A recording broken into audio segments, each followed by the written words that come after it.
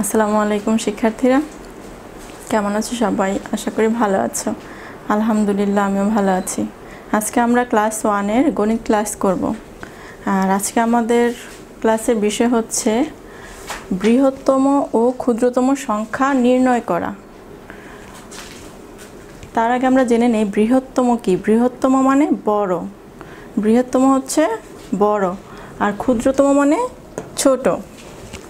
বৃহত্তম মানে বড় আর ক্ষুদ্রতম হচ্ছে ছোট। বড় বা বেশি, বৃহত্তম হচ্ছে বড় বা বেশি আর ক্ষুদ্রতম হচ্ছে ছোট বা অল্প। দেখো, এখানে বলা হয়েছে, ছবি গণনা করে সংখ্যা লিখি এবং খালি ঘরে বৃহত্তম, ক্ষুদ্রতম অথবা সমান সমান চিহ্ন দেই বা দাও। এখানে সমান সমান মানে কি? সমান সমান হচ্ছে, ধরো যে দুই পাশে সমান, আমার এইখানে কয়টা আঙ্গুল আছে? চারটা, আর এখানে আছে চারটা আঙ্গুল। তার মানে কি? এখানে চারটা এখানে চারটা। তাহলে দুই হাতে আমার কি আছে? সমান সমান আঙ্গুল আছে এখানে, তাই না? এটাই হচ্ছে কি? সমান সমান, আর এটা হচ্ছে সমান সমানের চিহ্ন। এখন আমাদের অঙ্ক করতে গেলে প্রথমে আমরা একটা নিয়ম মনে রাখি, সেটা হচ্ছে গিয়ে দেখো এখানে একটা সাপের ছবি দেওয়া আছে, আর সাপটা এখানে কি করে আছে? হা করে আছে। তার মানে কি? সাপটা ক্ষুধার্থ কিছু খেতে চাচ্ছে।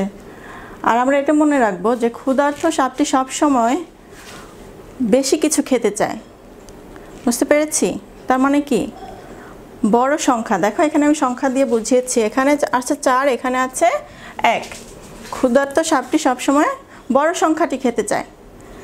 তার মানে কি? সাপটি দেখো এরকম হা করে আছে, তাই না? এরকম হা করে আছে। এটা দেখো, এই দুইটা চিহ্ন আছে। এটা একটা সাপের মুখের মতো। তার মানে কি? এখানে দেখো, আমরা করি করলে বুঝতে পারবে। এখানে কি আছে? প্রথমে আমরা ছবিগুলো গুনবো এবং সংখ্যা লিখব। তারপর আমরা বৃহত্তম অথবা ক্ষুদ্রতম যে চিহ্নটা আছে সেটা বসাবো। এখানে কয়টা পাতা আছে? এক, দুই। তাহলে কত লিখলাম? দুই। আর এখানে কয়টা পাতা আছে? এক, দুই, তিন। এখানে লিখলাম তিন। তাহলে আমার কোন পাশে বেশি পাতা আছে? এই পাশে, তাই না? এখন আমি বলেছিলাম যে ক্ষুধার্ত সাপটা সবসময় বড় সংখ্যাটা খেতে চায়। তার মানে কি? বড় সংখ্যাটার দিকেও হা করে থাকবে। তার মানে দুইটা মাথা, এই যে যে দুইটা মাথা আছে, এই মাথা দুইটা কি থাকবে? বড় সংখ্যার দিকে থাকবে। তাহলে এখানে আছে তিন। আমরা কি করব? এই যে দুই মাথা আছে না, এটা কি করব? এই বড় সংখ্যার দিকে দিব। বুঝতে পেরেছি?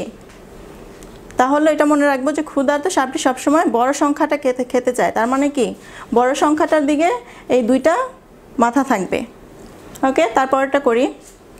এখানে দেখো কয়টা ছবি আছে, কয়টা ফুলের ছবি আছে? এক, দুই, তিন, চার, পাঁচ, ছয়। তাহলে এখানে কত লিখব?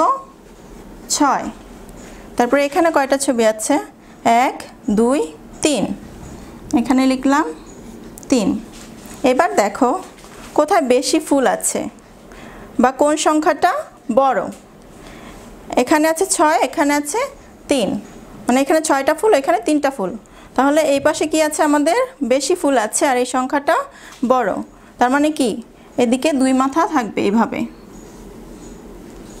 বুঝতে পেরেছি সবাই? আর এখানে দেখো, এখানে এক, দুই। দুইটা বেলুন আছে আর এখানেও কয়টা বেলুন আছে? দুইটা বেলুন আছে। এক, দুই। আমি বলেছিলাম, যদি দুই পাশেই সমান সমান থাকে মানে একই পরিমাণ থাকে, তাহলে এই সমান সমান চিহ্নটা বসবে। তার আগে আমরা একটু সংখ্যাটা লিখে নেই। এক, দুই। এখানে কত বসবে? দুই। আর এখানেও কয়টা বেলুন আছে? এক, দুই।